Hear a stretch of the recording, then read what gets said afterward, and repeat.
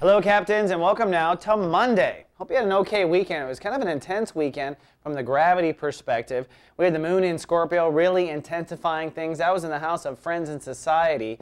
And today the emotions go kind of underground, and the universe says to Capricorns, you might have to make an important decision today about your positioning in society or about a certain friend or a circle of friends. Because Mercury in that soul pyramid and retrograde, saying rethink friends, rethink society right now tying into two other planets, that's a lot of gravity dedicated towards one cause. Now, simultaneously, we're in the third chapter of Sun in Libra, and that's issues or major breakthrough or breakdown around career. Now, usually things break down when the soul is not paying attention, and so it builds up and you have that kind of burst. And you'll understand why later, why you weren't paying attention, right?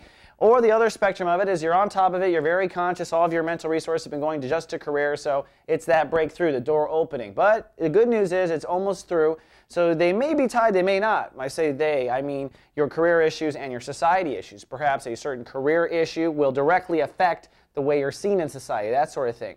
But the society friendship thing is a bit deeper. We got to point that out because it's tying into two other planets with that soul pyramid and water Soul pyramids and water tell me there's going to be emotional maturing at a rapid rate, and it's tied into you moving forward with new kinds of long term relationships and you innovating your whole thinking communication process at large. So, a lot of work being done on the Capricorns. Emotionally, I say underground and detached because the moon has now moved into Sagittarius, so your subconscious and your more private spiritual self is most illuminated by uh, your emotions, your emotions are sensitive. You're also extremely emotionally sensitive to your past and your karmic patterns. So just be careful not to project your karmic patterns onto whatever this decision is. You want to actually learn from it. So the emotional awareness might be there just to understand. Make conscious decisions not to continue those paths that defeat you. All right? All right, Capricorn, that's all we have to kick off the week. I'll see you tomorrow with more. Until then, live, love, be. So